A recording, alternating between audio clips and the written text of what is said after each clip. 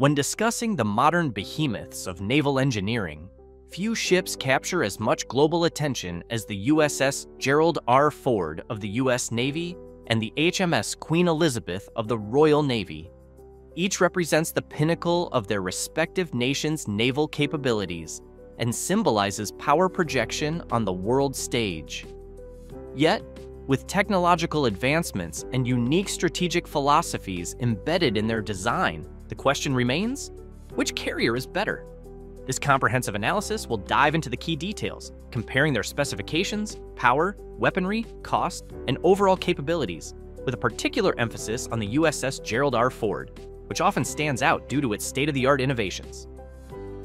The USS Gerald R. Ford is the lead ship of a new class of U.S. Navy supercarriers. Named after the 38th President of the United States, it was commissioned in 2017 and marked a significant leap in carrier technology. The Gerald R. Ford class is intended to replace the aging Nimitz-class carriers, which have served as the backbone of U.S. naval power for decades. The Ford's construction incorporated years of research and development aimed at making it the most formidable and technologically advanced carrier ever built. On the other side, the HMS Queen Elizabeth represents a new era for the Royal Navy. Launched in 2014 and commissioned in 2017, it is one of two ships in its class, along with its sister ship, the HMS Prince of Wales.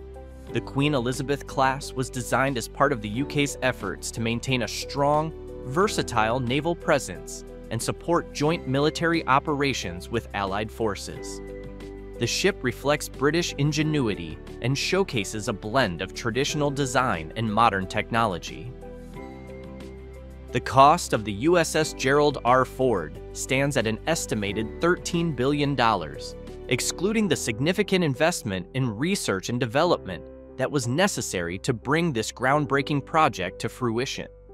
This colossal sum underscores the complex nature of the ship's design, which includes a host of new technologies, from the electromagnetic aircraft launch system, EMALS, to advanced radar systems and dual-band radar capabilities.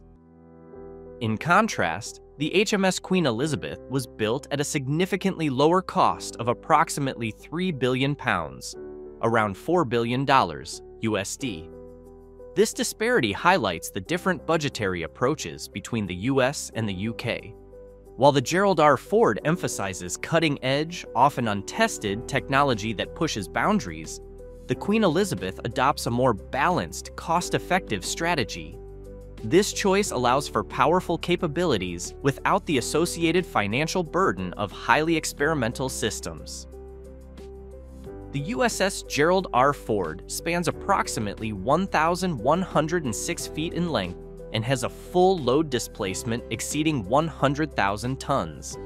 This makes it one of the largest ships ever constructed and gives it the operational flexibility required for long-term, high-tempo missions.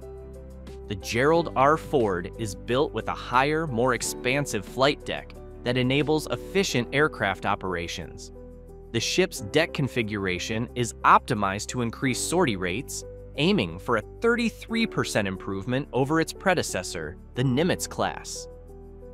The HMS Queen Elizabeth, while impressive in its own right, measures around 920 feet in length and has a displacement of approximately 65,000 tons. Though smaller than the Gerald R. Ford, it is still among the largest ships in the Royal Navy's history. Its ski jump ramp is one of its defining features, facilitating short takeoff and vertical landing operations for its F-35B fighter jets. While it doesn't match the deck size of the USS Gerald R. Ford, the HMS Queen Elizabeth's design focuses on multi-role capability and interoperability with NATO allies. One of the defining aspects of the USS Gerald R. Ford is its nuclear propulsion system, powered by two A1B reactors. These reactors provide nearly three times more power than those in the Nimitz class, enabling the ship to operate at speeds exceeding 30 knots, around 35 miles per hour. This high speed is crucial for rapid global deployment and evasive maneuvers in potential combat scenarios, Additionally, the Ford's reactors can power future advanced weapons systems, such as directed energy weapons and railguns, positioning it to remain relevant for decades. The HMS Queen Elizabeth employs a different approach with its integrated full electric propulsion system, driven by two Rolls-Royce MT-30 gas turbines and four diesel generators. This hybrid propulsion system allows the carrier to reach a top speed of around 25 knots, 29 miles per hour. While this speed is lower than that of the Gerald R. Ford, the integrated full electric propulsion system is reliable and efficient for the strategic purposes of the Royal Navy which often emphasizes joint operations and extended deployments. The flight deck of the USS Gerald R. Ford is a marvel of modern engineering, designed to handle a larger air wing than previous U.S. carriers. It can typically carry up to 75 aircraft, including a mix of FA-18EF Super Hornets, EA-18G Growlers, E-2D Hawkeyes, and the cutting-edge F-35C Joint Strike Fighters. This allows the Gerald R. Ford to maintain air superiority, conduct electronic warfare, and perform early warning and reconnaissance missions. The EMALS system enhances the efficiency of aircraft launches, reducing the physical strain on airframes and providing quicker turnarounds. The HMS Queen Elizabeth, with its focus on the F-35B variant, supports around 40 to 50 aircraft, including helicopters for anti-submarine warfare and troop transport. The F-35B's short takeoff and vertical landing capability is perfectly suited to the Queen Elizabeth ski jump deck, enabling quick launches and landings in a variety of operational environments. While the Queen Elizabeth may not carry as many aircraft as the Gerald R. Ford, it remains a versatile platform capable of projecting air power and supporting amphibious assaults and humanitarian missions. The USS Gerald R. Ford boasts an array of defensive weapons and systems to protect against aerial, surface, and subsurface threats. These include the RIM 162 Evolved Sea Sparrow missile for close-in air defense, the RIM-116 Rolling Airframe Missile System, and the Phalanx Close-In Weapon System for last resort anti-missile defense. Additionally, the Ford features an advanced radar system that improves threat detection and target acquisition, providing a robust shield against modern threats. The HMS Queen Elizabeth is equipped with a defensive arsenal that includes Phalanx Close-In Weapon System and 30mm automated small caliber guns. While it lacks the extensive missile systems found on the USS Gerald R. Ford, the Queen Elizabeth is designed with a layered approach to defense, integrating its armaments with escorting ships and allied support for comprehensive protection.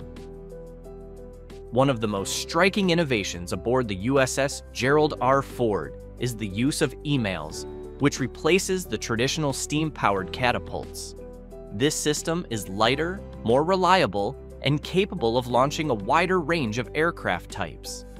The Ford also features the advanced arresting gear, which enhances the safety and efficiency of aircraft recovery. These technologies collectively enable faster and more flexible flight operations.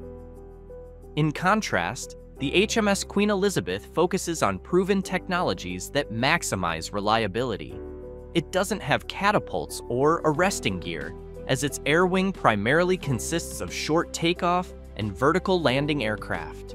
This simplifies flight operations and reduces maintenance needs, which can be advantageous during extended deployments.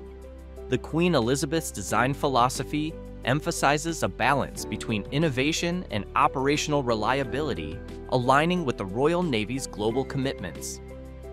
While the HMS Queen Elizabeth is an impressive testament to British naval engineering and plays a critical role in coalition operations, the USS Gerald R. Ford represents a leap forward in carrier technology. With superior power generation, advanced launch and recovery systems, a larger air wing capacity, and a robust array of defensive weapons, the Gerald R. Ford stands out as the more formidable warship. However, Each carrier fulfills its strategic role effectively, with the Gerald R. Ford showcasing unmatched innovation and the Queen Elizabeth exemplifying versatility and joint force capabilities. In the end, choosing which is better depends on the perspective and the strategic needs of their respective navies. The USS Gerald R. Ford undoubtedly sets a new standard in carrier design and capability, positioning the US Navy to maintain air and sea superiority for decades to come. What do you think?